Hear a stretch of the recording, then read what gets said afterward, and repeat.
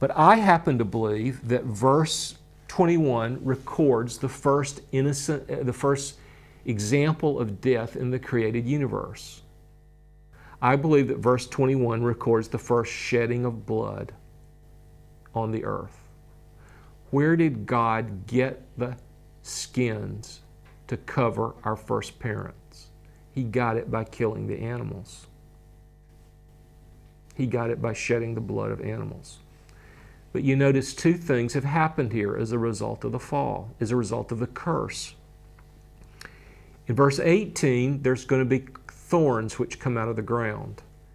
And in verse 21, there has to be a covering, an atonement. Obviously, this is a temporary atonement, which foreshadows a permanent atonement brought by the shedding not of animal blood, but by human blood, and not merely human blood, but divine blood, the blood of the God man, the Son of God, who's also the Son of Man, the Lord Jesus Christ. So, the two things I want you to notice are the thorns which come out of the ground and the clothes which God has to make for our first parents through the shedding of blood of the animals. Okay? Hold your place in Genesis 3 turn to John chapter 19. John 19. This is John's account of the cross. Now, you're all familiar with this, but I want to show you the connection. Maybe you're familiar with the connection. It says in John 19 2 that the soldiers made a crown of thorns and put it on Jesus' head. So the thorns were put on his head. What is he taking? Did everybody hear what Igor said? He's taking the curse.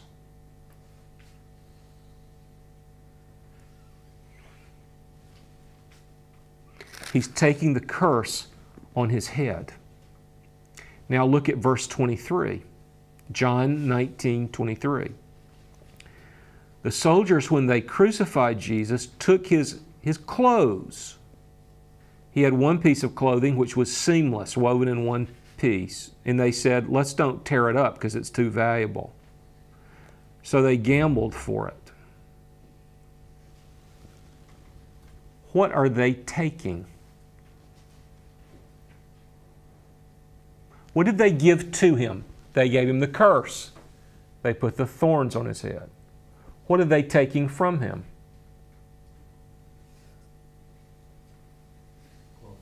The clothes. Okay, say it a little bit more theologically. They're taking his clothes, they're taking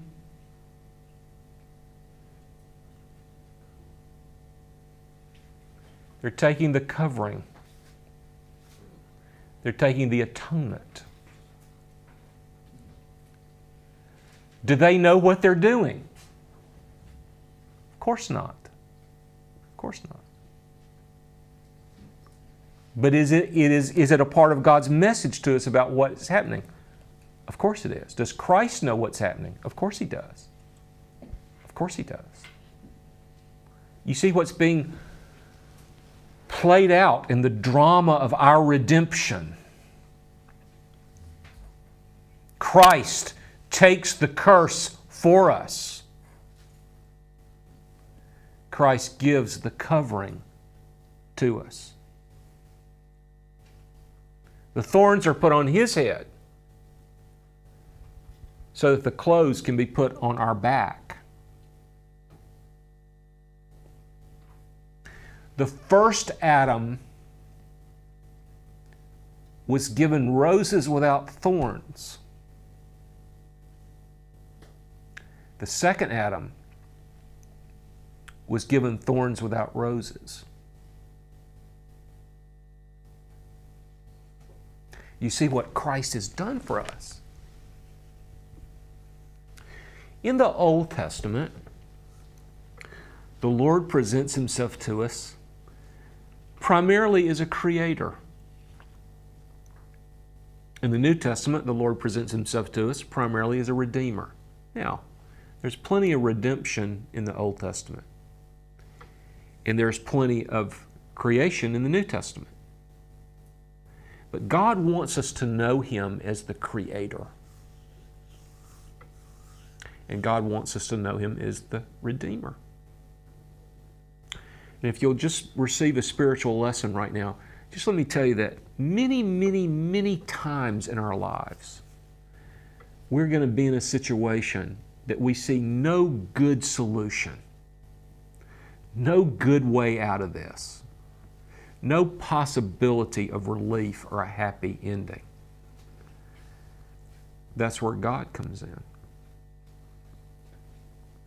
Because God can create things that we can never imagine.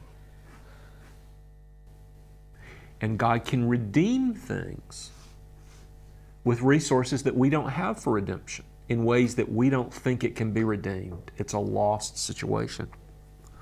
God has come to minister to our lostness. Christ has been sent to be our Redeemer. Now, I can't resist one little final comment about the people who say that there is no God, or the people who say that there is no redemption and no life after death. Here's what those people are asking us to believe. Think about it. You see, the important thing, we've all been brainwashed. We've all been brainwashed in our education systems. And we've all been brainwashed to leave God out and to leave the biblical point of view out. And our goal and our task as Christian students, so that we can become Christian educators and teachers, is to think biblically, not to think like the serpent tempts us to think, but to think according to the Word of God. And our faith is a reasonable faith. The faith of the atheist is an unreasonable faith.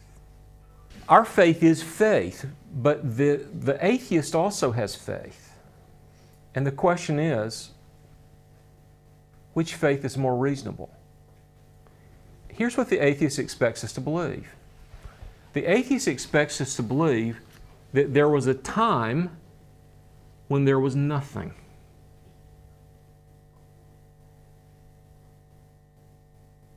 And everything that we see just happened on its own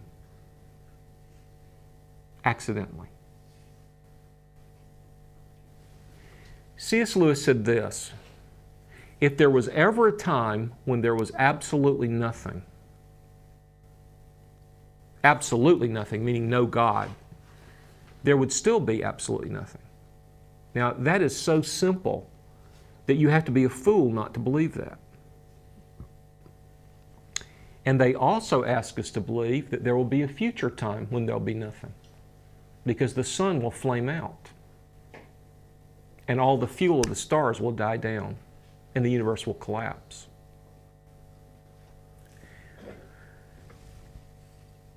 The fact that we believe that there is a heaven and a hell is not hard to believe when we see everything that exists in this life. When we see everything that God has already done, it's very reasonable to believe God's promise that He also is going to do something else, that there will be another world and another universe and another life. It's much more reasonable to think that if we have all the forms of life that we have, that there can also be other life. That's much more reasonable to believe that we began as nothing and that we are going to nothing. So we're leaving now the story of the creation and the story of the fall. We've been told about the story of sin and the consequences of sin. And what the consequences of sin mean is not only our death and the death of our children, but the death of God's Son, that we might have a life which never dies. That's the story of redemption in the story of creation in the book of Genesis. in chapter Even a small contribution can make a big difference. Jesus fed 5,000 people because of a little boy's five loaves. Regardless of the amount, your contribution is very important and greatly appreciated. Visit us at tvsseminary.com.